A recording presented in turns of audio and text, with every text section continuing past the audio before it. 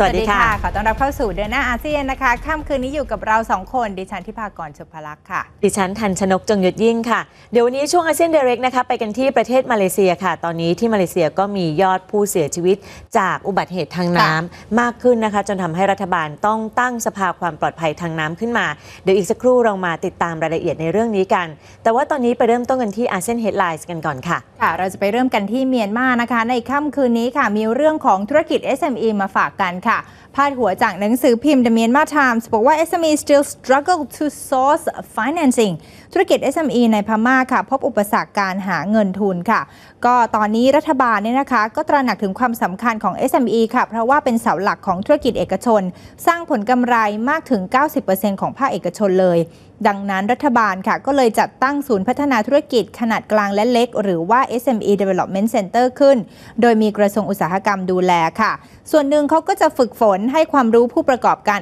SME ให้เข้าใจถึงกฎข้อบังคับทางการเงิน แล้วก็กระบวนการกู้เงินต่างๆ ค่ะ ทีนี้เพราะว่าเมื่อก่อนปีที่แล้วเนี่ยนะคะ สิงหาคมค่ะ มีสถาบันประเมินพัฒนาการของเยอรมนีเขาเปิดเผยผลสำรวจ ว่าผู้ประกอบการ SME 2,500 กว่าแห่งในเมียนมาเนี่ยพบว่ามีธุรกิจ SME เพียง 20%เท่านั้นที่กู้เงินสำเร็จค่ะ ทางรายงานในระบุบอกว่าเงินทุนของ SME ส่วนใหญ่ในพม่ามาจากลูกค้า ญาติมิตรหรือว่าเพื่อนฝูงเป็นหลัก เพราะฉะนั้นก็เลยเป็นปัจจัยการกู้เงินแบบนอกระบบนี่แหละค่ะ จะมาจากความเชื่อใจแล้วก็ความสัมพันธ์ ขณะที่บริษัทขนาดใหญ่ก็จะกู้โดยวางสินทรัพย์เป็นที่ดินและอาคารนะคะ ทั้งนี้เชื่อว่าจริง ๆ แล้วใน SME ในพม่าส่วนใหญ่ยังคงต้องการหาเงินทุนอีกมาก แล้วก็มีแผนที่จะขยายกิจการ แต่มีทางธนาคาร KBC ค่ะ ผู้อำนวยการฝ่ายธนาคารระหว่างประเทศ บอกว่า SME ในพม่านะคะ หรือว่าพนักงานระดับผู้จัดการเองเนี่ย ตอนนี้เขายังขาดความเข้าใจด้านการเงิน เพื่อดำเนินการขอกู้ยืมเงินจากธนาคารได้อย่างถูกต้อง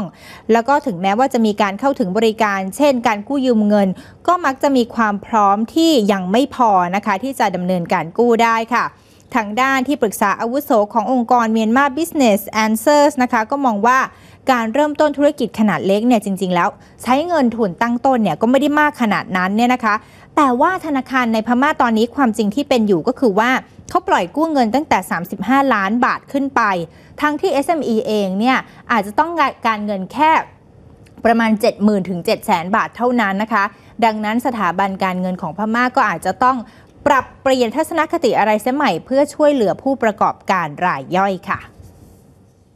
มาดูที่เรื่องของปัญหารถติดกันบ้างนะคะ ไม่ใช่เฉพาะกรุงเทพและกรุงจาการ์ตาค่ะ อีกที่หนึ่งนะคะ นั่นก็คือกรุงมะนิลาของประเทศฟิลิปปินส์รถติดหนักมากจนเป็นปัญหาใหญ่ค่ะ มีพาดหัวจากหนังสือพิมพ์ The Philippine Star นะคะ บอกว่า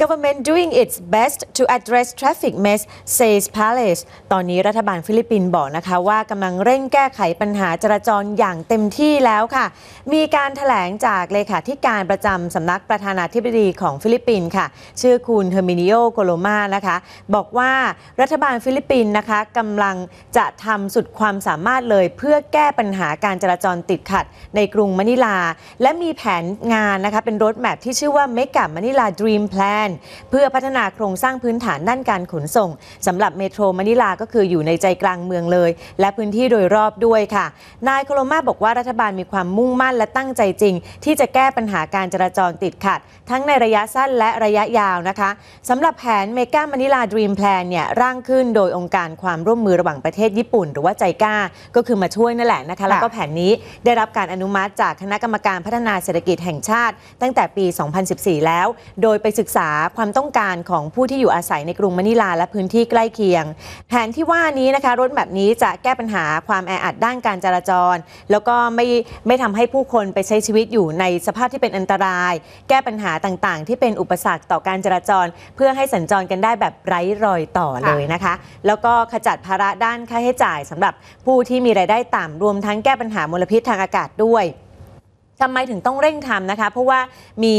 คำพูดของที่ปรึกษาของหอการค้าอเมริกันในฟิลิปปินส์ค่ะ ชื่อคุณจอห์นฟอบส์บอกนะคะว่าฟิลิปปินส์ต้องเร่งแก้ปัญหาเรื่องนี้โดยการปรับปรุงถนน แล้วก็พัฒนาโครงสร้างพื้นฐานทันทีด้วย เพราะว่าเมโทรมะนิลามีความเสี่ยงที่จะกลายเป็นเมืองที่ไม่สามารถอาศัยอยู่ได้ ภายใน 4 ปี เนื่องจากว่า ภายในปีคศ 2020 นะคะ จะมีรถออกใหม่ถึง 5 0 0 0 0 0คันต่อปีคุณคิดดูแล้วกันอืมคนจะไปอยู่ยังไงนะคะ ถ้ามันติดขนาดนั้นค่ะ นอกเหนือจากการจัดการบนท้องถนนแล้วนะคะ คุณฟอบส์ก็แนะนำว่ารัฐบาลฟิลิปปินส์ควรจะต้องเร่งสร้างอาคารผู้โดยสารแห่งใหม่ด้วย ภายใน 2 ปี แล้วก็สร้างทางรถไฟนะคะ ที่สามารถเชื่อมเข้าตัวเมืองได้แบบไม่จอดแวะ เหมือนที่มีในกรุงกัวลาลัมเปอร์ฮ่องกงแล้วก็โตเกียวด้วย เพื่อระบายการจราจรค่ะ ค่ะ ตอนนี้นะคะก็ได้เวลาของสีสันแห่งอินโดนีเซียค่ะ ตอนที่ 4 แล้วนะคะ เราจะไปดูเรื่องผ้าบาติกกันดิฉันชอบมากคุณชอบไหมอ่าดิฉันก็ชอบเหมือนกันนะคะ สวยงามดี ใช่ค่ะ เดี๋ยวเราไปดูรายงานพิเศษชิ้นนี้กันดิฉันทำมาฝากค่ะ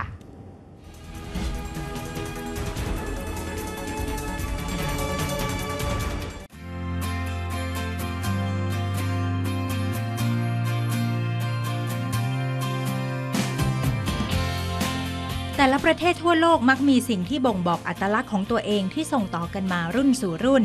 ที่อินโดนีเซียก็เช่นกัน ความเป็นอินโดนีเซียที่โดดเด่นในสายตาชาวโลกก็คือผ้าบาติกนั่นเอง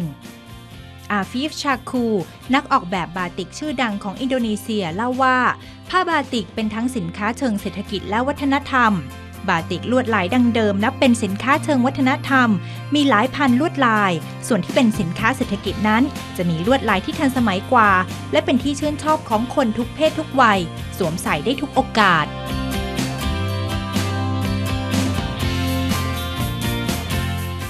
Seperti kita lihat, di sini adalah batik eh, tradisional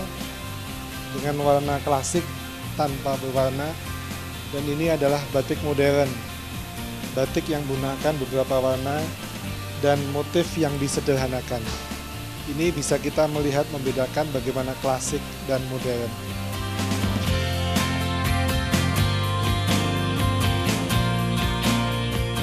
ผ้าบาติกมีหลายราคา 1 ชุดจะมี 2 ชิ้น ประกอบไปด้วยสรงหนึ่งผืน และผ้าคลุมไหล่อีกหนึ่งผืน หากทำจากผ้าคอตตอน จะอยู่ชุดละราว 1 ล้านรูเปียหรือ 2,600 บาท แต่หากเป็นไหมทอมือจะอยู่ที่ขั้นต่ำสุด ชุดละ 5 ล้านรูเปีย หรือ 13,000 บาทคุณผู้ชมคะทราบไหมคะว่าผ้าบาติกแต่ละลายเนี่ยมีความหมายในตัวเองด้วยนะคะ เดี๋ยวเราจะไปฟังกันค่ะ so what is the meaning of these patterns of the batik Oh yeah, of the special, this is special for the batik, so this merits.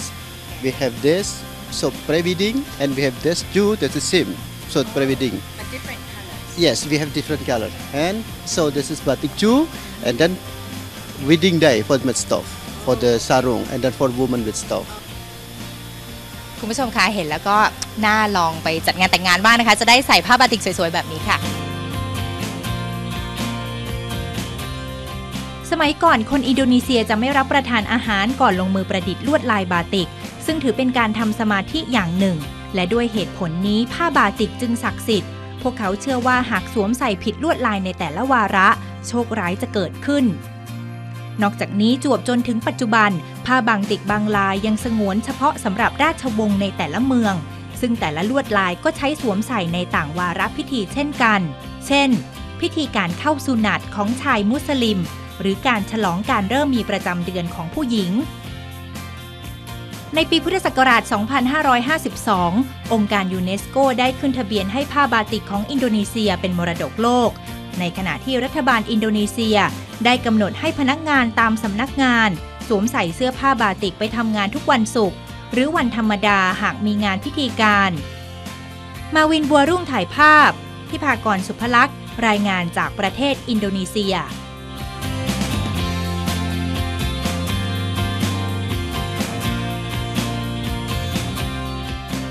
รู้สึกว่าคุณจะตั้งใจเลือกลองผ้าบาติกสำหรับพิธีแต่งงานนะคะ ถูกต้องค่ะมันก็แต่มันก็สวยจริงๆนะว่าไม่ได้ค่ะเอาละค่ะช่วงนี้พักกันสักครู่นะคะ ช่วงหน้ากลับมาอาเซียนเดเรกค่ะ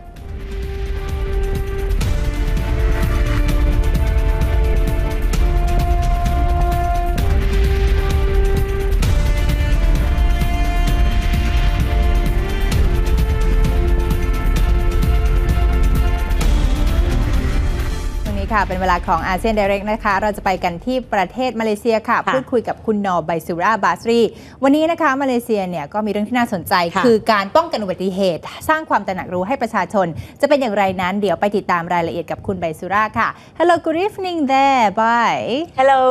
Hello, good evening, Titi and Nikki. how are you I'm good. How are you too? Yeah, we're great too. So, Bai, what's going on about the um, safety of the from the water activities that you mentioned earlier? Okay, yesterday, um, uh, Malaysian Cabinet Minister approved the setting up of Water Activities Safety Council during their meeting yesterday. Due to fears of number of cases involving water activities, which also include higher rate of fatalities. All Prime right. Minister was very concerned about the increasing fatalities involving water activities and wanted priority to be given to tackle the problem.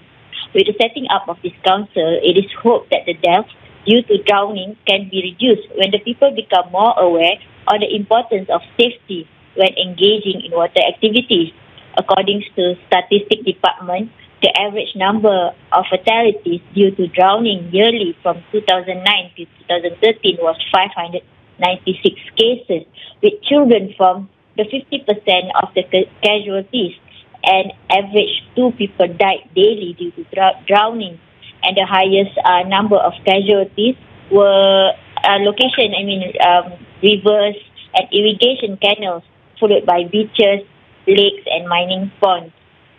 So this council would be chaired by the Urban Wellbeing, Housing and Local Government Minister, with members made up of representatives of government agencies, non-governmental organizations, and also from private sector. Meanwhile, the Fire and Rescue Department, which come under the same ministry, would play a key role in increasing awareness among the public on the importance of water safety. Mhm. All right. Bye. Thank you so much for your report this evening. You're welcome. Thank you, Bai. ได้ค่ะก็ได้กระทรวงโดยเอ่อคณะรัฐมนตรีของประเทศมาเลเซียนะคะ ก็ได้มีการอนุมัติการจัดตั้งสภาความปลอดภัยทางน้ำไปเมื่อวานนี้ระหว่างที่มีการประชุมคณะรัฐมนตรีค่ะ เพราะว่ามีจำนวนเหตุ แล้วก็อัตราการเสียชีวิต จากกิจกรรมทางน้ำเพิ่มมากขึ้นเลย ก็เลยทำให้นายกรัฐมนตรี นาจิบราซักนะคะ กังวลเลยทีเดียวค่ะ กับอัตราที่มันเกิดขึ้นอย่างนี้ แล้วก็ต้องรีบแก้ไขปัญหาค่ะ ค่ะก็คือว่ามีสถิติจากกรมสถิตินะคะบอกว่าอัตราเฉลี่ยการเสียชีวิตอันเนื่องมาจากการจมน้ำในช่วงปี 2009 ถึงปี 2013 เนี่ยเฉลี่ยปีละนะคะ 596 รายค่ะ ก็จำนวนเกือบครึ่งจะเป็นเด็กค่ะ แล้วก็ตามข้อมูลยังเห็นว่ามีผู้จมน้ำเฉลี่ย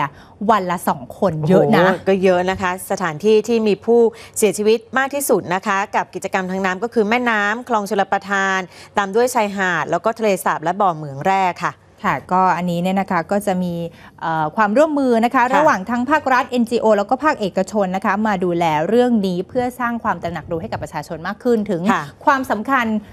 แล้วก็ความปลอดภัยในเรื่องกิจกรรมทางน้ำค่ะค่ะเอาละค่ะ วันนี้นะคะเดือนหน้าอาเซียนหมดเวลาแล้วค่ะ แล้วก็เช่นเคยคุณนอเบซูราบาสรีมีเพลงมาฝากนะคะชื่อเพลงบิยาคันลาศิลปินดราม่าแบนด์ค่ะ ชื่อเพลงแปลว่า Let It Be หรือว่าปล่อยให้มันเป็นไปค่ะ วันนี้นะคะ รายการของเราหมดเวลาลงแล้ว ดิฉันและทีมงานและคุณทันชนกลาไปก่อน พบกันใหม่วันพรุ่งนี้ สวัสดีค่ะ สวัสดีค่ะ